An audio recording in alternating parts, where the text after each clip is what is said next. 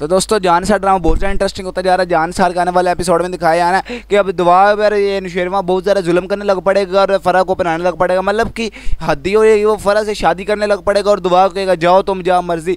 दुआ फिर वहीं पर जलील अपने घर रहेगी, लेकिन वो फिर उसका अबू कहेगा, देख लिया नतीजा। लेकिन उसका अबू को जब समझ लग ही जानी है कि ये सरफराज धोखेबाज था इसीलिए। लेकिन वो ये सोच रहे हैं हमारी किस्मत क्या ही माड़ी, हमारी दोनों बेटियों के साथ लेकिन ये जो है ना दुआ का, ये तो एक बार बेवफाई दिखाने के बाद मतलब सीन आ जाएगा कि वो इसे दोबारा पसंद करने लग पड़ेगा। लेकिन एक बार के लिए तो वो सीन हो जाएगा ना मतलब कि जो दवा के साथ गलत हो गया। क्योंकि ज़ाहिर सी बात है, फिर शायद मैं ऐसा हो बार में दवा ना इसे पसंद करे। तो मतलब ड्रामा बहुत हद तक इंटरेस्ट नहीं होता जाए लेकिन पता नहीं अब वो फ़र्क क्यों अपनाई जा रहा हो, एक तो फ़र्क भी उसके पीछे पड़ गई, हाथ तो हो गए। बंदा पूछे नहीं, तुम्हारा काम क्या बनता है कि तुम वापस उसकी ज़िंदगी में आ गए लेकिन भाई ड्रामे वालों ने ट्विस्ट तो लाना है ना ट्विस्ट के बिना तो काम चल ही नहीं सकता। तो इसीलिए भाई, इस तरह से ट्विस्ट लाया, जैसे मर्ज़ी लाया सही है। लेकिन भाई, वो सोचने वाला वो मतलब कि उसने क्या स्क्रिप्ट लिखी है भैया, कि जो है ना, ये नशेरवा ये दोबारा फ़रा को पसंद कर रहा है क्योंकि यार बस क्या कहे, और फ़रा को पसंद ही कर रहा है तो इसीलिए भाई उसके दिल में अभी उसके लिए कोई जगह है। तो तभी उसके इतनी बातें सुनता रहता है। उसके सामने उसने दुआ का फ़ोन भी काट दिया, उसने कुछ नहीं कहा। तो बस दोस्तों, यही जान सार के आने वाले एपिसोड का प्रोमोटीज रिव्यू आपको कैसा लगा, अपनी डायमंड ज़रूर कमेंट में दीजिएगा। मिलता हूँ अगली वीडियो में, तब तक के लिए अल्लाह हाफिज़।